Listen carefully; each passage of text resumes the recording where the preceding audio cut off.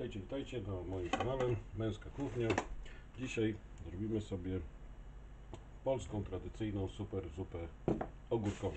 E, Co potrzeba? No oczywiście wszystkie warzywa, ziemniaki, ogórki kiszone, jakiś olej.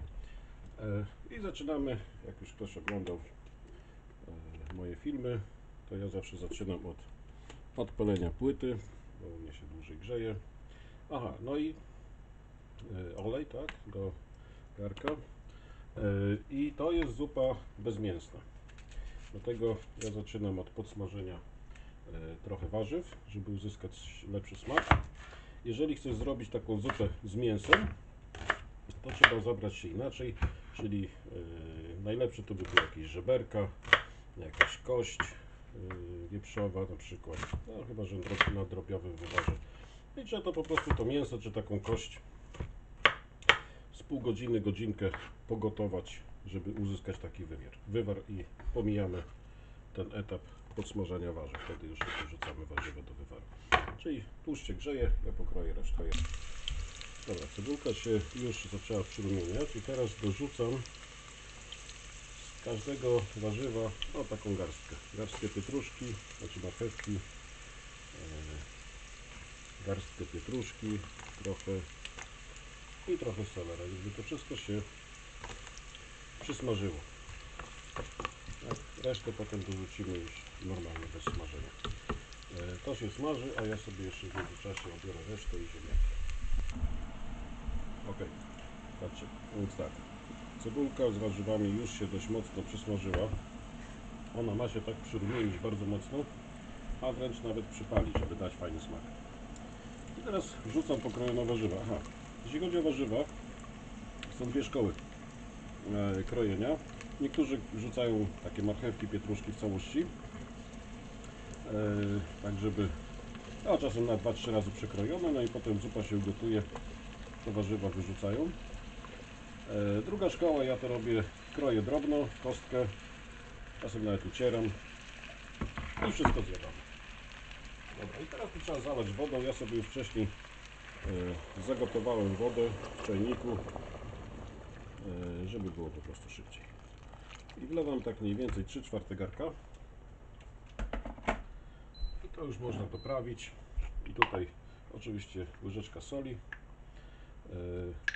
e, ziele angielskie, liść laurowy.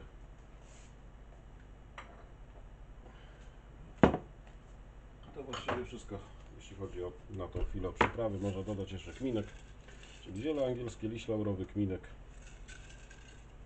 I to się ma teraz ugotować, aż będzie miękkie. Także, aha, i w międzyczasie, zanim to się ugotuje, to można sobie utrzeć ogórki. Ile ogórków? No taki garnek jak ten, no tak, takie w paczkach się sprzedaje w sklepach ogórki albo luzem. Mniej więcej pół kilo kiszonych ogórków powinno być. Może troszeczkę więcej. Wszystko zależy od tego, jaki smak lubisz. Także zupa się gotuje. Ogórki ucieramy na grubej tarce. Tak jest po prostu najwygodniej. E, można kupić też gotowy przecier. Nie trzeba się wtedy bawić w ucieranie. Ale ja do tych gotowych jakoś nie mam zaufania. Ale robię sobie to nakładem. Przynajmniej widzę, że mam ogórki. Także albo gotowy przecier, albo ucieramy. W każdym razie, na razie zupa się musi na tyle ugotować, żeby wszystkie warzywa przynajmniej w połowie zmiękły. Także do zobaczenia za 10 minut. Dobra, witamy po przerwie. Zupka się gotuje, minęło jakieś, no nie patrzyłem na zegarek, jakieś 15-20 minut. Wszystko już pewnie zmiękło. Jak sprawdzić? No, no wziąć sobie ziemniaczka, przekroić i zobaczyć, albo przegryźć, tylko ostrożnie, się nie poparzyć. Wszystko miękkie. W międzyczasie po- posieka jeszcze czosnek. Dobra, no i teraz jak już to wszystko zmiękło, dodajemy do zupy utarte ogórki.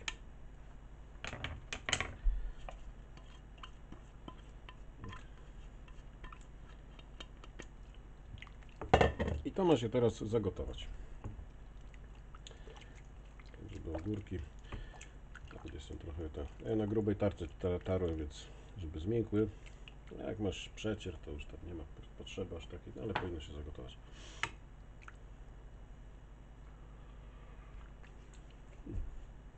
Smakuje prawie idealnie. Jeszcze tam drobne, drobne przyprawy damy. Teraz poczekamy, aż się zagotuje. Dobra, no to znowu chwila przerwy. Dobra, zupa zakipiała, jak widać. I właściwie jest prawie, że gotowa. Trzeba jeszcze tylko zrobić jedno dwie rzeczy. Po pierwsze dodajemy czosnek.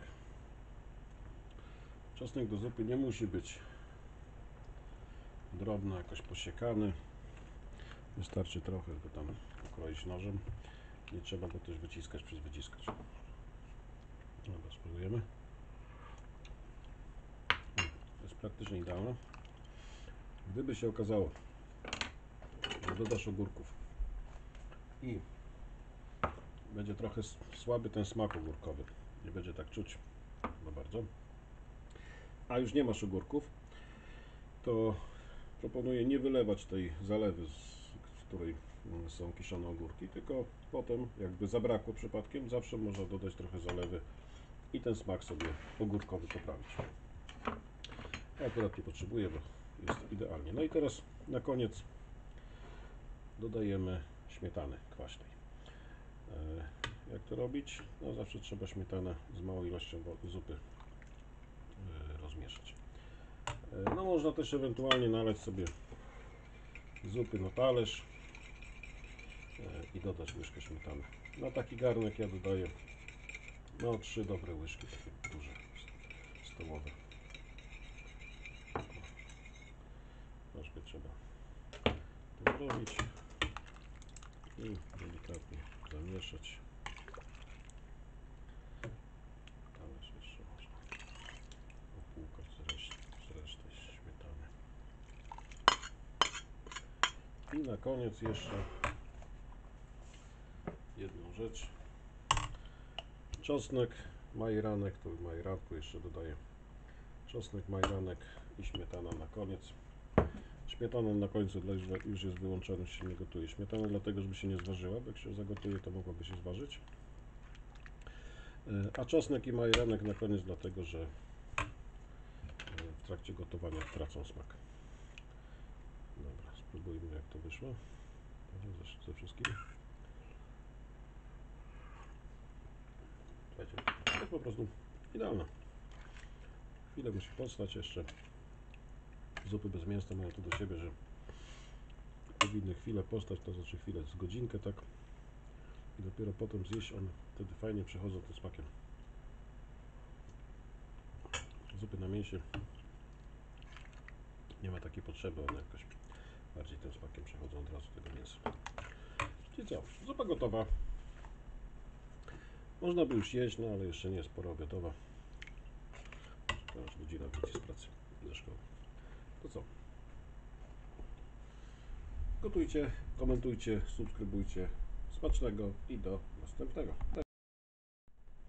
Słuchajcie, właśnie sobie podjadam. Jest pyszna. I powiem jeszcze jedno na koniec. Nie dajcie sobie wmówić, jak to ostatnio się trąbi, że podobno kiszonki są niezdrowe. Bzdura, jak i drugiej nie ma. Słowianie, kiszonki, kiszone ogórki, kapustę. Mm, pyszna. Słomiane kiszonki jedzą od 1000 metrów. I dlatego jesteśmy zdrowi. Także jedzcie kiszonki jak najwięcej, bo to jest samo zdrowie. To jeszcze raz smacznego i do następnego.